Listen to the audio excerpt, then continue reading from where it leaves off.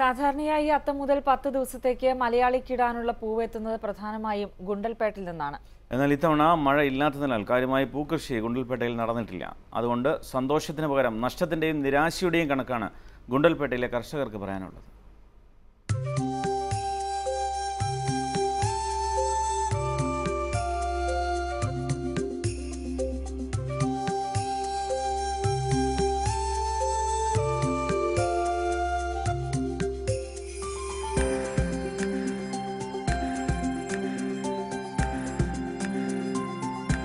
Paint കമ്പനികൾക്ക് നൽകാനായാണ് ഗുണ്ടൽപേട്ടയിലെ കർഷകർ പൂക്കൃഷി നടത്തുന്നത് എങ്കിലും അത്തം മുതൽ പത്ത് ദിവസത്തെ വിളവ് കേരളത്തിനുള്ളതാണ് ഈ പത്ത് ദിവസമാണ് കർഷകർക്ക് ഏറ്റവും അധികം ലാഭം കിട്ടുന്നതും പക്ഷേ ഇത്തവണ കാലാവസ്ഥ ചതിച്ചു മഴ ലഭിക്കാത്തതിനാൽ പൂവധികം ഉണ്ടായിട്ടില്ല ജണ്ടുമല്ലിയും വാടാമുല്ലിയും ഒക്കെ തിങ്ങി നിറഞ്ഞു കാണേണ്ട ഈ പാടങ്ങളിലെല്ലാം വിളവ് തീർത്തും കുറവ് ಮಳೆ ಇಲ್ಲ ಮಳೆ ಇಲ್ಲ ಮಳೆ ಕ ಕೊರ್ಚ ಅಂಥ ಮಳೆ ಏನಿಲ್ಲ ಫುಲ್ ಕಷ್ಟ ಮಳೆ ಇಲ್ಲ ಬೆಳೆ ಇಲ್ಲ ಫಸಲೆಲ್ಲ ಕಡಿಮೆ ಹ್ಞೂ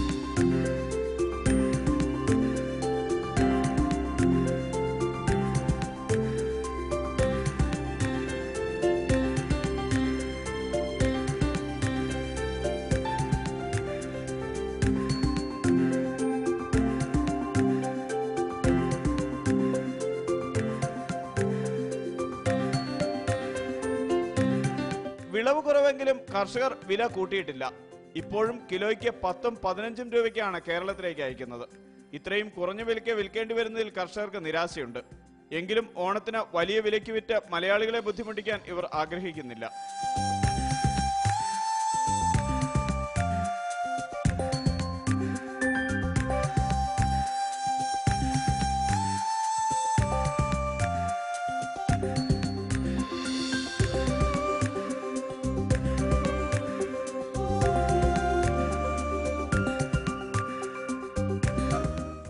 ഇത് അവിടെ കൂടുതൽ നിങ്ങൾ കൊടുക്കും അവർ ഇവിടെ പത്ത് രൂപ കൊണ്ടുവരും അവിടെ ആ, അമ്പത് രൂപ നൂറ് രൂപ കൊടുക്കും അവർ ഇവിടെ നിന്ന് കൊണ്ട് വന്നിട്ട് അങ്ങോട്ട് നമ്മളെ നാട്ടിൽ പത്ത് രൂപ പതിനഞ്ച് ഉ- ഇരുപത് രൂപ എത്ര ഉള്ളു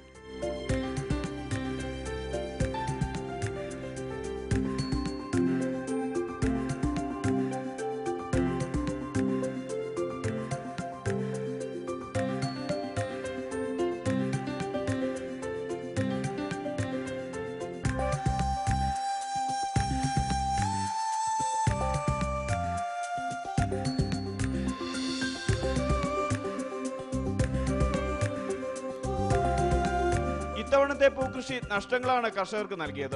അതുകൊണ്ട് പലരും കൃഷി നിർത്താൻ ഒരുങ്ങുകയാണ്.